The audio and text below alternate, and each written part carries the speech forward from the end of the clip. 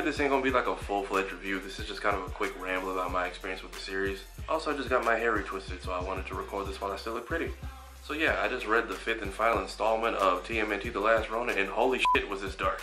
But we've had some twisted times in the Turtle lore before, so that's nothing new. Like there was that previous series a couple years back where they bashed Donnie Shellen and just left him in a coma till the finale. I haven't seen the most recent show, but I know the CGI when they stabbed the shit out of Splinter.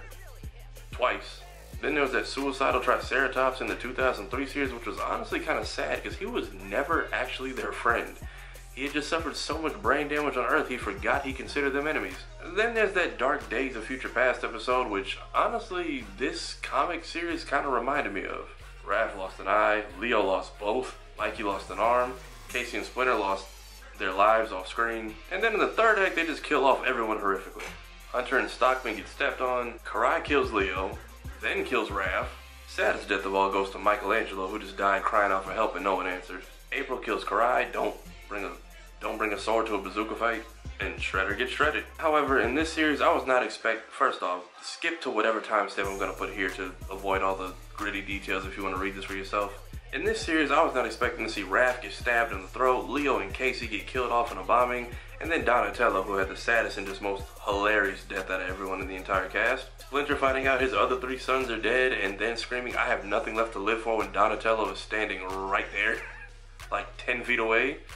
And then, like, the next page, Donnie takes an entire army full of arrows for this man, which clearly didn't work because they just reloaded and shot Splinter to death too.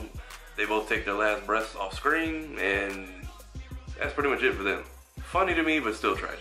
Setting for it is kind of this post semi-apocalyptic future Foot Clan run world. And I kind of like how the Ronin, who I will just refer to as such for the remainder of this video to avoid spoilers, kind of kept this just dark, gritty, I don't need anyone, I don't have anyone, suicide mission tone throughout all five installments. And with the reveal of who the Ronin is and throughout the series, he kind of lives up to what's been said through like all Turtle lore before, which is hey, if this person was more serious, took their studies more serious, and was more focused, they actually could be the best of the four. And it's kind of like seeing that come to fruition after what has at least been two decades of me watching this type of stuff. But then you throw in the trauma factor where even after the reveal, it's not like they're just like this happy-go-lucky person again, or when they rediscover certain people are still living, they revert back to normal. They still keep that same dark tone.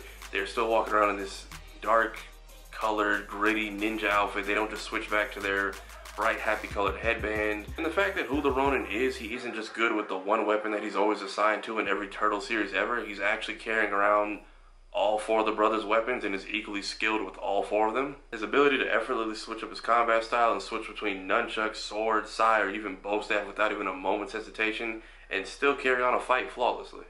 And then you throw in the drama factor of him having these season 5 Samurai Jack-esque arguments with the ghost of his dead brothers, either criticizing him or each other in a way that makes you question if these are all hallucinations in his mind or if they're actually really there. And then there's the fact that the Ronin is an adult, but when he imagines or his brothers come to visit him, they show up how he last saw each of them before they died, which is still the colorful headband wearing teenagers they were before each of them passed. Speaking of adult, I do kind of like that they address that with almost every installation we've seen of this series. It's always been Teenage Mutant Ninja Turtles. We've never really questioned what they would be like when they're not teenagers anymore. And with that, they kind of address it through the mutagen, kind of explaining that it's not just a one-time thing that transforms a living organism. The mutagen continues to mutate the older the exposed person gets. Hence why the Ronin is bigger, faster, stronger, and can recover quicker from even more dangerous injuries he sustained when he was a teenager.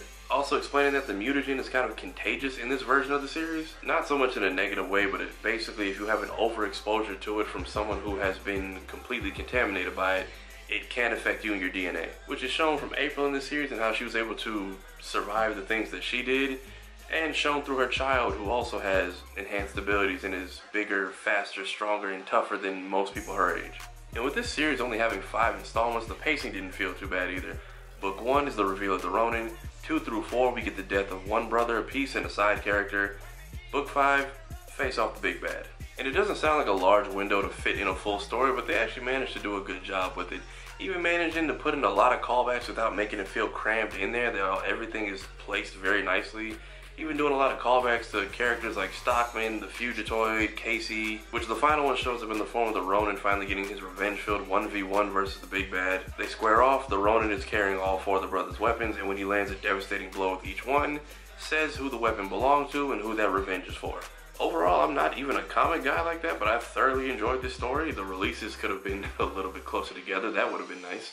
But if you are a comic person and you're looking for something new to read, I would highly recommend this. All five books are out. However, if you are jumping in this late in the game, good luck getting a variant copy. And I don't know how many times they're gonna reboot this series, which apparently they're they're still doing it. But if there was ever a grittier, darker, more adult series that should definitely be animated or turned into some kind of cartoon anime, it's this one. Alright, that's it for me. I gotta go wrap my head. Happy Monday.